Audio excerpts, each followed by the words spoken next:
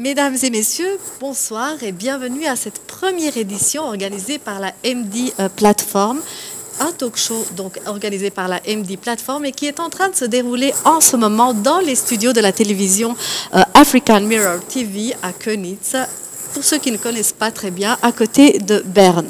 Dans cette première édition, organisée donc par cette MD euh, plateforme, nous allons essayer de converser et d'échanger euh, ce soir sur le rôle que peut exercer la société civile euh, dans le dialogue international en lien avec la migration et le développement de la JMFD.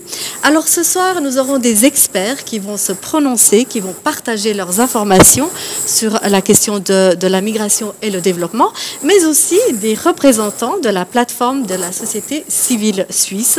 Et sans tarder, je vais commencer par vous présenter ceux qui vont participer à ce débat euh, ce soir.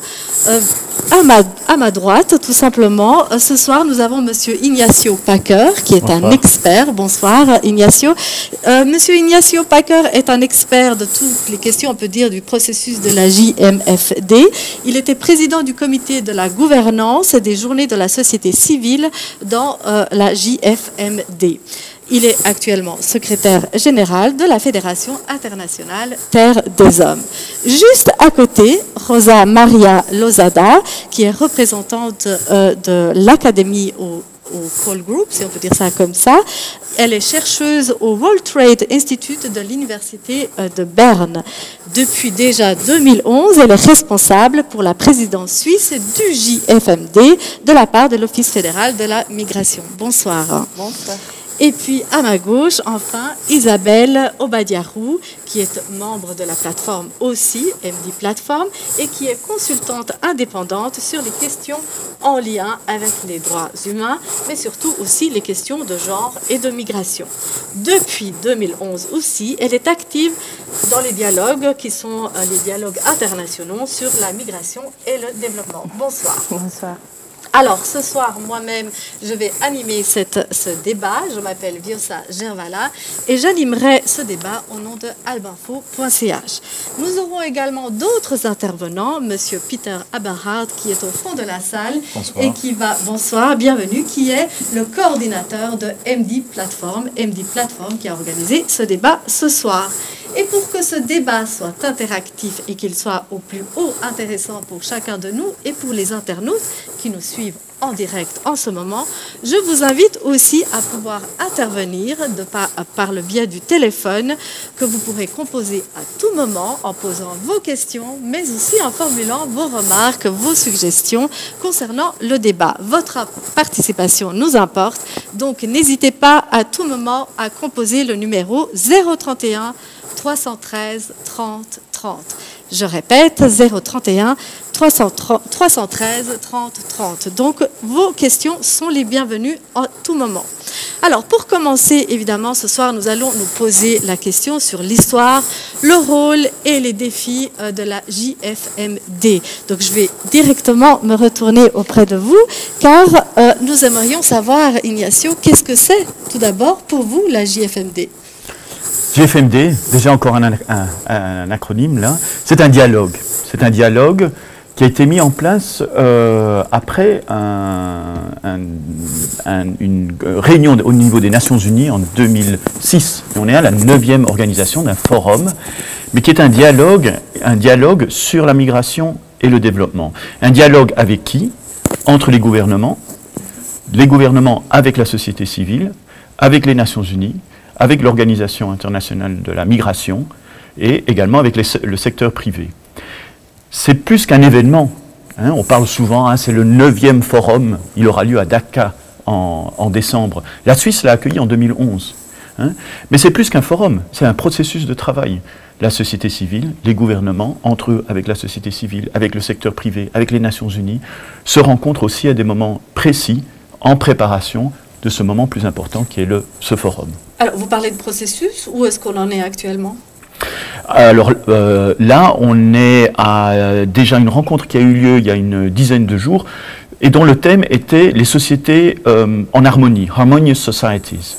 Et là, c'est une discussion entre des, gouvernements en préparation du, du, forum sur cette question, mais quels sont les critères, quelles sont les, les questions qu'on doit se poser sur une société harmonieuse, qui est une des thématiques qui se pose au GFMD à Dakar. La société civile également invitée à prendre position sur, euh, sur ces questions-là. Justement, vous parlez des questions qui sont posées, mais nous, ce qui nous intéresse aussi, ce sont les résultats. Ouais, les résultats, oui. Et je pense qu'il y a hum, raison d'espoir, mais aussi euh, raison de pleurer. Hein. Si on regarde les questions de migration et développement, il y a certainement des, euh, des résultats euh, concrets sur euh, différentes conventions qui ont été euh, signées sur le travail domestique, par exemple, mais leur mise en œuvre n'est pas toujours suivie. Il y a raison d'espoir parce qu'il y a de bonnes pratiques dans certains pays. Euh, moi, je travaille pour une organisation qui, qui regarde beaucoup plus euh, les questions de droits de l'enfant. Euh, les droits de l'enfant et les enfants affectés par la migration, mais également l'enfant au, au, travers de beaucoup d'autres domaines. Et là, si je compare par exemple à lorsqu'il y avait le, le, Forum global sur la migration et le développement en Suisse en 2011, il y avait très peu de discussions déjà sur le droit de l'enfant, très peu de discussions sur la détention administrative de mineurs migrants. Et ceci, si on regarde cinq ans plus tard, les discussions sont beaucoup plus présentes, c'est beaucoup plus sur, euh, sur l'agenda. La mise en œuvre, elle peine à venir, mais il y a des bonnes pratiques. Et dans certains pays, il y a des bonnes pratiques. Et c'est ça qui est intéressant par ce dialogue qui offre aussi à des pays qui ont de bonnes pratiques de pouvoir échanger avec des pays certainement sont à la traîne. Et puis, pensez bien, c'est un dialogue, mais la société civile fait ressentir, ressentir aussi son impatience. Est-ce qu'on peut remarquer une orientation de la JFMD Vers quoi va-t-elle?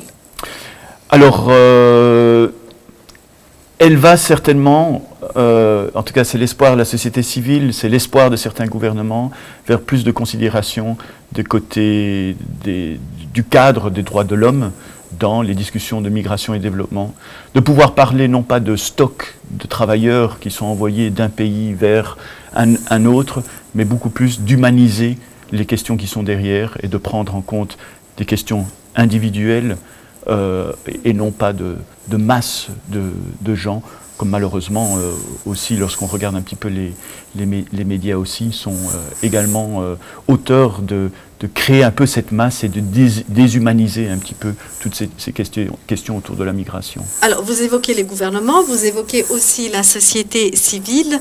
Évidemment, lorsqu'on parle de migration et de développement, la migration, on a tendance à le voir que les apports de la migration et on oublie souvent de réfléchir et d'analyser les apports de la migration face aux pays d'origine et aux pays d'accueil aussi.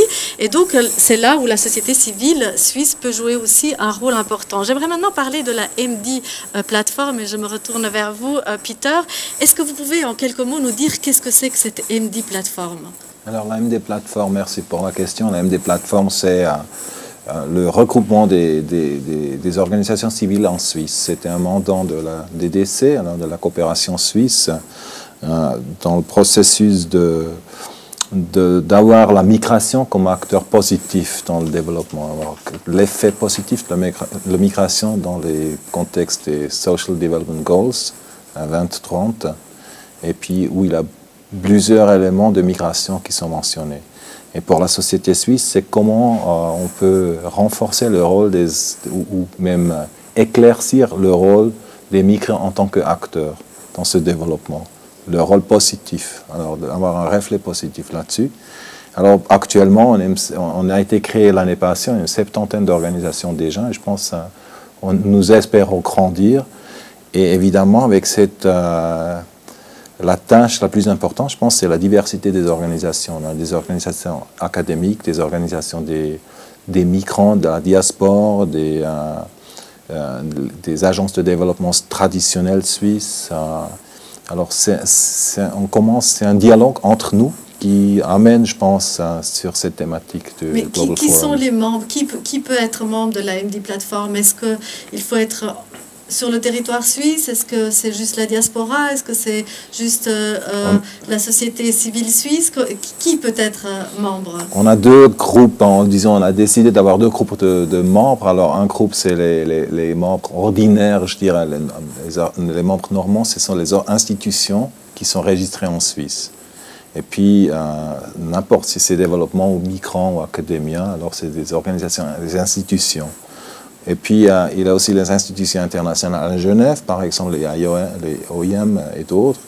Et pour eux, c'est des membres affiliated members, hein, les, membres affiliés. Et puis, les individus peuvent aussi joindre s'ils ont un lien direct intérêt avec la plateforme.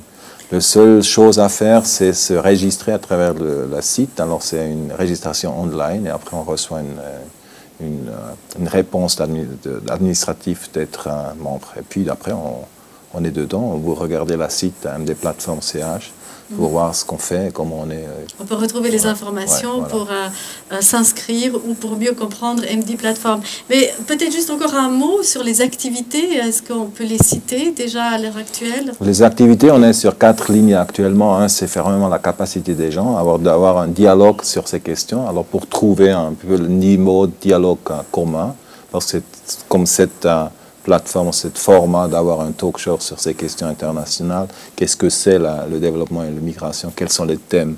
Et comment les ONG suisses peuvent contribuer au dialogue international? Ça, c'est une ligne. Une autre ligne qui était décidée et créée par le, groupe coordinatrice de la plateforme, c'est de toucher les thématiques psychosociales des, migrants. Alors, quels sont les, les challenges, quelles sont les demandes, qu'est-ce qu'il fait avec si la famille est derrière, si on est diaspora, si les questions d'intégration, les questions de transit, les traumatismes qu'on a vécu en transit tout dans le pays d'origine. Puis un autre groupe, c'est euh, une autre thématique qu'on veut faire, c'est à travers la communication, d'avoir un échange entre les membres et avec les membres. On a réalisé, on a des problèmes avec des langues, on a des problèmes avec, à lire des textes. Et puis c'est pour ça qu'on a ces formats avec Albin Fo, avec Afrin Mir, de faire des vidéos, de faire des talk shows de faire euh, des documentations euh, plus audiovisuelles pour, pour euh, d'un part avoir aussi une dimension émotionnelle et d'autre part pour faciliter l'échange entre les gens. Donc on l'aura, compris, ce que nous, cherchons aussi, c'est qu'il y a l'idée de l'encouragement à participer et à faire entendre sa voix à, travers ce mécanisme. Avant d'aller plus loin et de, débattre sur le rôle de la société civile suisse et de son parcours, je vous propose de découvrir avec euh, euh, mes euh, invités ici un petit film de quelques minutes sur les messages des acteurs internationaux clés liés au dialogue international sur justement cette question de la migration et du développement. Regardons et nous nous retrouverons d'ici quelques minutes. En anglais, c'est seulement en anglais.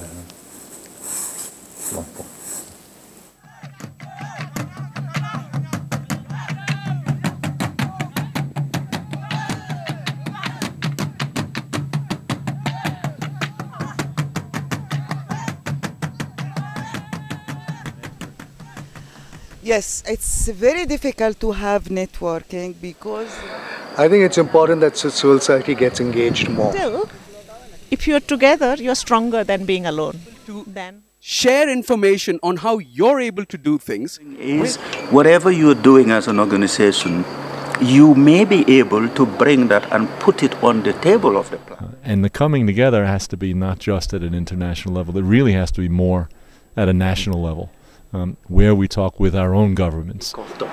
Pour leur dire, voilà, ce sont les faits de la migration internationale. Et après,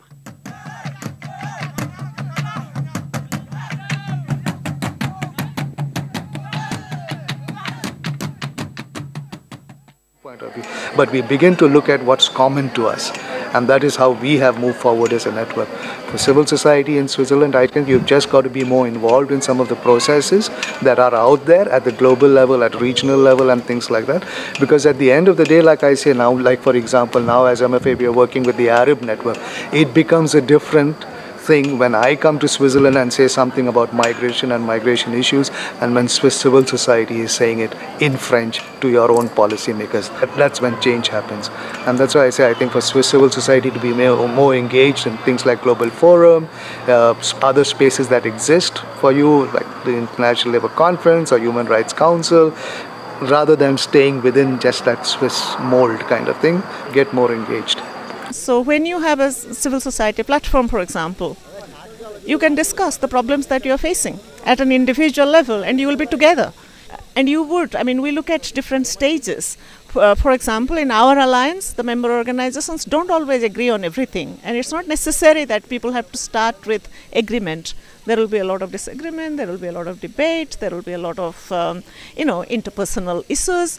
But still, if you're together, you're stronger than being alone we try to collect our efforts to play a good role in our countries. Now we are thinking the result equal to to uh, uh, to try to pass all these difficulties to have this network.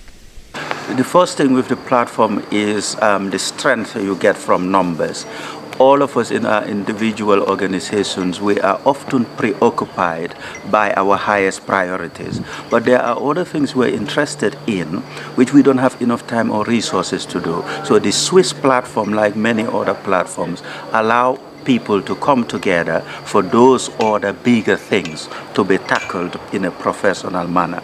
What certainly is an added value of civil society around the world um, of the global forum, let's put it that way, is the ability to be able to exchange and share information. Share information on how you're able to do things with uh, your colleagues of civil society. Certainly, I think that would be a big value added for the work that they have to do there. Similarly, as uh, members of a destination country, uh, civil society in a destination country like Switzerland would also be able to understand the worries, the concerns, and the and, and, and, and specific issues that civil society in countries of origin, like in Bangladesh, think about. The more we work with migrants, the more we work with refugees, the more we, we realize that it's work that has to be done and, and it's good work. Uh, uh, and the way to do it best is for us to come together uh, in that work. Um, and we're more powerful together. We're more powerful as witness of what what is really happening. We're more powerful as expression of what, what needs to change. Um, and we succeed sometimes, uh, but usually we succeed when we come together. Uh, and the coming together has to be not just at an international level, it really has to be more at a national level, um, where we talk with our own governments. So, as civil society groups, uh, we have to, to stay at it, we have to persist at it, and sometimes that requires a patience that um, that we need to find not only in ourselves but, but from one another in civil society. How do we stay at this? Il y a beaucoup de sujets dans le domaine migration régulier, irrégulier, qui sont sur la table, qu'il faut partager. C'est très important qu'il y a cette plateforme qui essaye de réunir les différents groupes, les différentes organisations.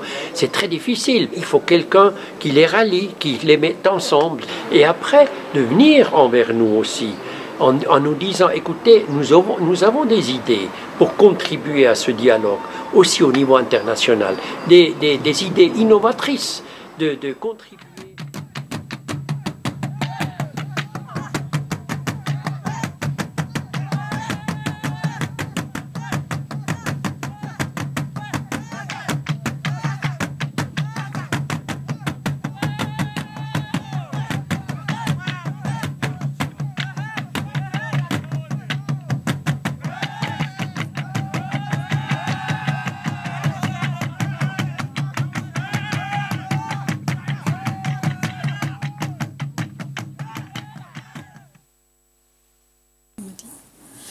C'était donc euh, les messages qui ont été adressés euh, par des acteurs internationaux. J'aimerais maintenant, évidemment, le rôle euh, de chacun est indéniable et donc de la société civile suisse aussi. Je vais m'adresser cette fois-ci aux membres de la MD Plateforme pour peut-être demander à Isabelle quel est le parcours d'abord de la société civile suisse?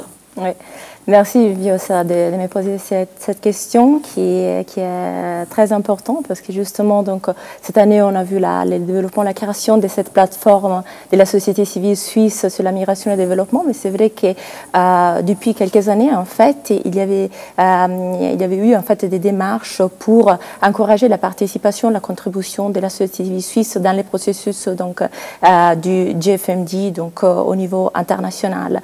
moi je dirais que en fait, les 2013 a été un petit peu l'année clé en fait, où, on a pu voir la création d'un petit groupe, un core groupe de la société civile suisse. Euh, c'est vrai qu'en termes de nombre, donc c'était plutôt limité, mais il avait comme but d'être les plus inclusifs possible et de pouvoir représenter vraiment euh, l'entièreté de la, de la société civile donc euh, du pays. Donc justement, donc il y avait la, la confédération qui avait mandaté donc à l'époque donc les Graduate Institute, l'Institut des études euh, du développement international donc de Genève, pour assister et coordonner la, société civile pour mieux s'impliquer et contribuer donc à euh, différents dialogues. En 2013, en fait, c'était une année dans laquelle il y a eu l'organisation d'un événement important, le deuxième dans, l'histoire euh, au niveau des Nations Unies. Il y avait les, dialogues de haut niveau sur la migration et le développement. Et euh, en même temps, donc, quelques mois avant, il y avait aussi les réunions préparatoires. Donc, ils ont permis à la société civile de participer. Et c'est pour ça qu'en fait, dans le cadre de cette euh, core group, euh, plusieurs actions donc, ont été mises en œuvre, euh, dont l'organisation d'une conférence consultative donc, qui a précédé en fait ces événements. Euh, c'était justement pour discuter euh, sur les questions du migration et développement donc, à Genève avec les différents acteurs donc, qui normalement sont, qui participent et qui ont un rôle particulièrement important dans, ces dialogues euh, à Genève. Euh, il y avait différents panneaux, donc il y avait différentes thématiques qui ont été abordées. Et euh, je peux voir en fait qu'à partir de ce moment, il y a eu pas mal d'échanges en fait du, groupe, donc du groupe de la, de la société civile suisse, donc pas seulement parmi ses propres membres, mais aussi euh, des réunions déjà pour euh, approfondir la connaissance donc des actions individuelles et des différents agendas, euh, parce que c'est vrai que chacun avait des, des différents plan d'action aussi. Donc c'est ça qui euh, c'était aussi intéressant donc pour euh, dans, ces core groupes. Et en même temps, il y avait plus d'interaction même avec les, gouvernements, les gouvernements suisses euh, pour mieux définir aussi la stratégie de la, de, la, de la société civile dans ces processus au niveau international. Et on en est où avec cette définition de la stratégie? C'est vrai qu'après ces moments, donc, euh, moi j'ai vu dans la, l'école groupe, c'était euh, comme euh, après ça, on a vu tous les développements en fait, les, les, s'est développé tous ces processus avec la création de cette plateforme, comme on la voit euh, aujourd'hui, donc, une plateforme qui est composée donc, par beaucoup plus de, membres, qu'il a défini donc, un plan d'action très intéressant donc, sur des thématiques importantes, donc, pas seulement au niveau international, mais aussi au niveau, au niveau local. Mais pouvez-vous nous donner un exemple pour ceux qui ne comprennent pas forcément très bien euh, euh, qu'est-ce que c'est, en quoi ça consiste? La plateforme, mm. les rôles de la, de la société civile. Euh, c'est alors tout d'abord très important, moi, je trouve, donc la, la les rôles donc, des, différents acteurs donc, de la diaspora donc, dans, les contextes euh, du, GFMD, euh, mais aussi dans d'autres dialogues, parce que en fait, il peut apporter beaucoup de contributions donc, euh, au niveau d'expertise qui est vraiment spécifique à, ces différentes associations. Donc c'est hyper important en fait de mettre en valeur la, leur expertise, en fait, l'effet qui dans les dialogues, dans euh, les, forums, il peut vraiment euh, contribuer à la sensibilisation sur différentes thématiques. Euh, très important donc au niveau local, donc rendre attentif en fait les gouvernements et les institutions euh, par un travail de sensibilisation. Exactement, donc euh, de transmission d'informations directes. Mhm. Euh, notre point important, c'est du réseautage, le fait de renforcer, de créer des partenariats, des réseaux avec d'autres organisations, aussi de la société civile dans d'autres pays, qui peut mener, en fait, qui peut conduire les mêmes types d'actions, mais les donc euh, c'est très envisageable donc aussi cet échange des, bonnes pratiques. C'est mhm. toujours euh, mhm. très bénéfique en fait pour, euh, pour les organisations. Alors, vous parlez de contribution. je me retourne vers Rosa, justement. quel est, vous, vous êtes membre de cette de MD plateforme. Vous, êtes, vous, vous agissez. Quelle est votre contribution concrète? Alors, ma contribution, d'ailleurs, merci pour l'invitation. Je suis très heureuse d'être ici avec vous et faire partie aussi de la plateforme de la société civile. Euh, ma contribution au processus qu'on a lancé mhm. avec la plateforme civile, je la vois comme faire partie avec ma voix de la grande voix qu'on doit écouter pour influencer le débat public sur la migration d'une façon positive. Donc une contribution plutôt personnelle? C'est une contribution personnelle, mais aussi en, en représentation de ce que moi je représente. Mhm. Je suis grand, grand-fille, grand-fille et fille de migrants en Suisse. Donc vous avez une histoire de migrante. J'ai une histoire de migrant. Et sans cette histoire de migration, je ne serais, je serais pas là aujourd'hui et je ne serais pas qui, qui je suis aujourd'hui. Et pouvez-vous m'expliquer quel est l'intérêt pour vous d'être particulièrement membre de cette euh, euh, plateforme? Alors, la plus-value que je trouve dans la plateforme, c'est le pluralisme qu'on représente tous. Mhm. Et le pluralisme, pour moi, nous donne euh, la possibilité de mettre en valeur la diversité. Et ce que c'est la diversité pour moi, j'aimerais l'expliquer comme enseignante avec une petite histoire. Alors, moi, ce processus, pour moi, c'est comme un éléphant. Et nous tous, on est comme des aveugles.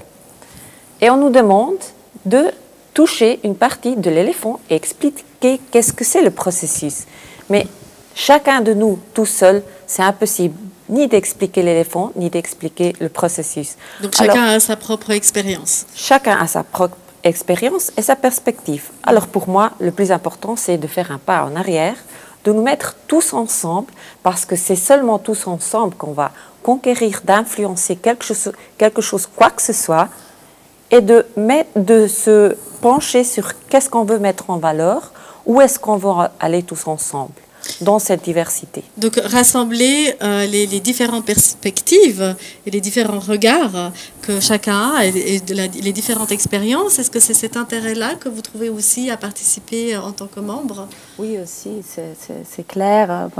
Euh, aussi, donc je, je, partage aussi la vision donc, des, des Rosas parce que justement, euh, moi je me sens particulièrement concernée par, par les questions en lien avec la migration et le développement. Donc du point de vue professionnel, donc parce que je travaille beaucoup sur, euh, surtout sur l'amélioration en fait de, de l'intégration, de l'inclusion donc des, des, migrants dans les pays et de facilitation en fait du dialogue interculturel afin de euh, justement encourager les développements humains donc euh, de, des personnes dans ce cas donc migrantes.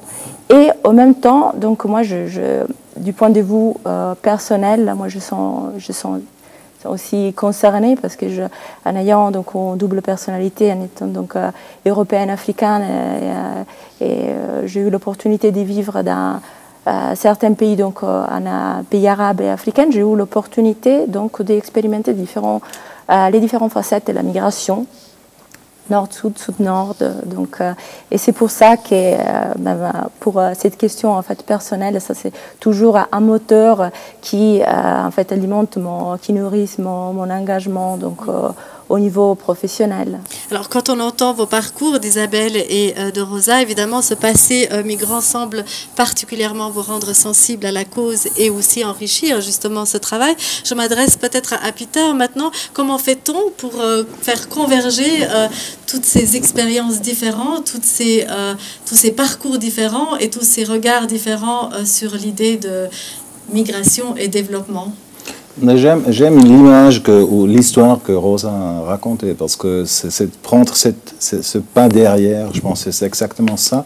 Aussi pour, pour, pour ce qu'on est ici ce soir, c'est de regarder les plus grands processus, le GFMD, les thématiques différentes, de pays d'accueil, de pays d'origine, du transit, la question des protections, euh, question de, de livelihood, de vivre euh, dans le pays d'origine, ou d'avoir la décision de venir ou non ces questions, puis aussi la, question de, comment les, pays hôtes hein, réagissent à ces influx migratoires, d'une manière positive ou négative, comme on l'a vécu aujourd'hui.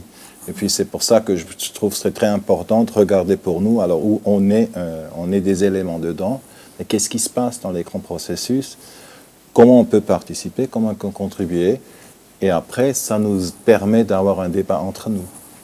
Est-ce que, euh, donc, euh, Ignacio, je me retourne vers vous. Euh, avant, vous avez euh, souligné le rôle des gouvernements, mais aussi de la société civile. Lorsque vous entendez, que- quel est le lien que vous faites entre la société civile suisse et peut-être la JFMD direct? Mais je pense que la société civile suisse a Et énormément. peut-être aussi l'influence auprès des gouvernements à terme. Oui, oui, oui. Mais la société ci- civile suisse, bon, Isabelle a fait un petit euh, historique, euh, mais a, euh, contribue et, et- et a bien contribué aussi à des, à des événements clés. Euh, des événements clés comme Isabelle l'a mentionné, cette, euh, cette réunion euh, à New York de, du dialogue de, de haut niveau. La société civile, c'est énorme la société civile finalement. hein. C'est-à-dire, euh, euh, vous n'avez pas le numéro de téléphone là pour appeler la société civile, bah, ça ne marche pas comme ça. C'est une diversité absolument incroyable et c'est une unité dans cette diversité que, que l'on cherche entre les, les- syndicats, des organisations de, de diaspora, des ONG qui sont euh, activistes, des ONG qui sont plus sur le plaidoyer, qui sont sur l'humanitaire, c'est des citoyens, c'est c'est énorme. Qu'est-ce que, qu'est-ce que tout ceci au niveau de l'organisation de la société civile parvient à faire Elle parvient à mettre des priorités sur deux pages, huit points pour dialoguer avec les gouvernements. C'est quand même extraordinaire, quand même. C'est du travail d'unité dans une diversification très forte de, représentants de la société civile. Parce que les gens de la société civile, ils sont représentatifs et parfois de, constitutions, mais énormes. C'est c'est pas quelques petits gars là qui, euh, qui font ça, hein. c'est des, des, des- constitutions énormes, c'est des représentations énormes euh, d'organisations. Moi, je suis impliqué dans beaucoup de, de dialogues avec les gouvernements, mais ce que est en train de se faire sur, euh, sur la migration et le développement, et là, ICMC est en train de jouer un rôle important parce qu'ils ont le mandat au niveau international de, de- de coordonner cela avec toute- toute une série d'autres, personnes qui, qui- qui- C'est un mouvement, c'est, c'est pas un truc bloc comme ça, c'est un, un, un mouvement avec une énergie qui est forte, mais avec une énergie de non-satisfaction. Ça va pas assez vite, et moi je suis un impatient. Et là-dedans, il y a des gens qui, sont là et qui représentent aussi les. C'est pas uniquement les blablas de bureau, quoi. Il y a des gens qui sont là, qui parlent, et ces migrants eux-mêmes, qui parlent de leur situation, de leurs difficultés, mais de leur- leurs espoirs, de leur côté positif, et des, des espoirs qu'il y a, des bonnes pratiques à pouvoir prendre pour ce dialogue avec les gouvernements. Alors, vous n'avez cessé de répéter que c'était énorme, donc on a affaire aux à un énorme éléphant, et, mais quand même avec un énorme mouvement quand même de la, la société civile. Est-ce que vous voulez vous prononcer là-dessus? Il faut se rendre compte que on est, je pense que euh, au moment actuel, 26% d'étrangers en Suisse. Ça fait à peu près 2 millions de personnes. Ça, c'est la société civile. Il faut se rendre compte du pouvoir qu'on aurait avec notre voix. Et moi, je me rappelle euh, ce qu'a dit notre ami, euh, notre bon ami John Bingham dans le film. Euh, on peut que tous ensemble. Mais ça, ça fait aussi peur. Alors comment faire? Qu'est-ce qui fait peur? Moi, je pense que ce qu'on représente Mhm. tout entière, ça fait aussi de la peur dans la société dans laquelle on habite. Ça crée quelquefois des environnements toxiques. Est-ce que c'est dire que ces 26%, c'est une, une masse homogène? Moi, je ne pense pas que ce soit une masse homogène et c'est là le, le challenge de, de, de nous mettre ensemble et de, trai- de essayer de prendre un chemin qui nous mène quelque part. Ce que j'aimerais dire par ça, c'est euh, j'aimerais faire un mot sur la narrative positive. Mhm. Je pense qu'on Oui, doit rester. aussi, oui, je suis euh, plutôt optimiste. Je pense que dans les dix années qu'on est en train de travailler dans le GFMD comme société ci- civile, on a acquéri beaucoup. La Suisse a un lead excellent, énorme dans ce qu'est le plateau international. Il faut se rendre compte que jusqu'il y a une ou deux années, il n'y avait pas de migration dans le, pro- dans le programme du UN High Level Dialogue. Aujourd'hui, on a quatre buts dans le Sustainable Development Goals. Ça, c'est déjà quelque chose. On doit continuer. Alors où Vers quoi? Pour moi, on doit continuer vers le respect. Je pense que nous, les migrants, on apporte beaucoup. On apporte beaucoup à la maison et on apporte beaucoup aux pays dans lesquels on habite. Je veux pour nous tous, pour tous les migrants du monde entier, j'aimerais avoir plus de respect. Et j'aimerais contribuer à, ce respect du point de vue de l'académia, mais aussi du point de vue de la diaspora espagnole, avec une narrative positive. Isabelle, euh, l'un des défis, donc, c'est le respect. Euh, est-ce qu'il y a d'autres défis que euh, cette plateforme doit relever?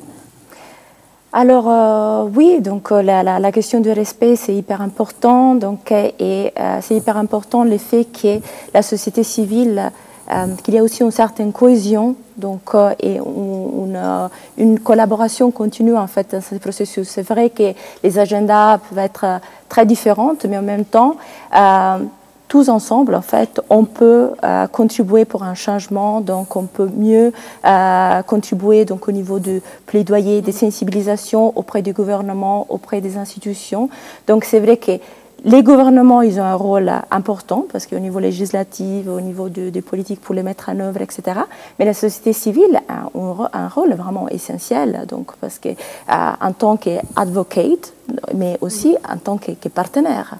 Alors justement, la société civile a un rôle important, ça semble vraiment indéniable. Peut-être maintenant, euh, nous arrivons vers les messages que nous aimerions euh, formuler auprès de la JMFD pour que justement elle puisse se pencher sur quel type de questions, par exemple, Rosa? Alors pour moi, il faudrait se pencher sur la diversité. La diversité avec euh, du respect, ça mène à l'inclusion. L'inclusion, et l'intégration dans la société dans laquelle on habite, ça mène à plus de développement.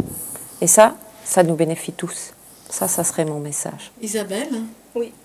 Pour moi, c'est euh, les respects, renforcer en fait les respects, la protection des droits humains des migrants, euh, parce que ça, c'est un élément vraiment essentiel euh, dans cette discussion, mais aussi en compte, de prendre plus en considération tous les aspects des discriminations. Donc le fait que euh, l'exclusion des, des, migrants, en fait, l'exclusion de certaines des personnes donc, qui se trouvent dans des situations vulnérables, ça, ça, ça empêche en fait leur développement humain, mais ça empêche aussi les bien-être à la fin collective de la société. Donc c'est très important en fait si on veut vraiment bénéficier d'une croissance donc euh, du, des, bénéfices de la, de la, de la migration, c'est hyper important de, de, respecter donc les droits humains des personnes et de faire en sorte que les, euh, les migrants, qu'il y a un processus accéléré d'intégration, d'inclusion sociale, professionnelle des, des personnes issues de la migration.